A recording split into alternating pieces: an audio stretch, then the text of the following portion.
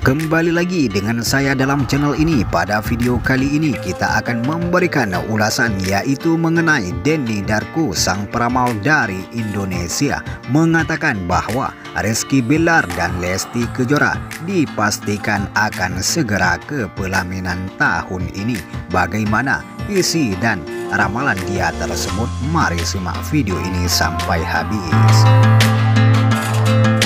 Hingga kini, publik masih terus menyimak kelanjutan hubungan pedangdut Lesti Kejora dan aktor tampan Rizky Bilar.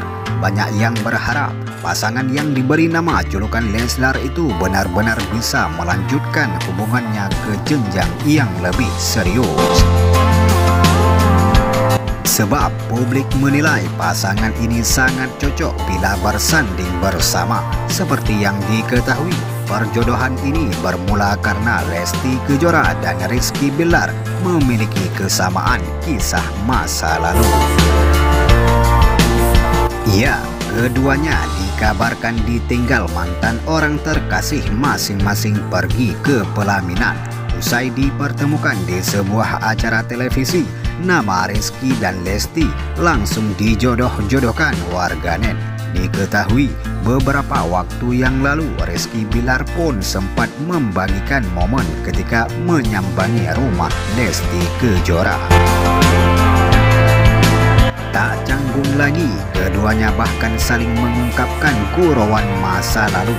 Melihat momen tersebut, Denny Darko pun menerawang nasib hubungan keduanya di masa depan. Denny menyimpulkan kalau pihak keluarga Lesti Kejora masih menimbang-nimbang. Selanjutnya, Denny Darko juga menjelaskan lewat kartu The Five of Cup tentang kegalauan diri ingin menolak tapi hati ini juga ingin mengerjakan hal ini tutur Denny Darko. Lagi-lagi orang tua Lesti Kejora memiliki peran banyak mengenai kisah percintaan darah dagingnya itu. Tentu hal tersebut berangkat dari kegagalan asmara antara Lesti Kejora dan Rizky The Academy yang berimbas pada rasa trauma. Lebih lanjut, Denny Darko memberikan peringatan kepada sang biduan kalau ada baiknya untuk berteman saja dengan Rizky Bilar. Jadi, Lesti diharapkan ya, kalau ternyata mau jalan ya temenan dulu aja deh, ungkap Denny. Ia juga menambahkan kalau mau sayang-sayangan seperti sekarang ini, nggak usah terlalu jauh dulu, ujar Denny Darko.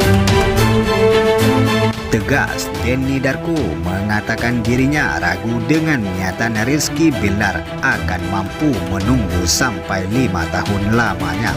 Ahli tarot tersebut juga berujar jika Rizky Bilar akan menggandeng Lesti Kejora ke jenjang yang lebih serius. Itu saja informasinya. Jika ada kesalahan kami minta maaf. Kami akhiri. Assalamualaikum warahmatullahi wabarakatuh.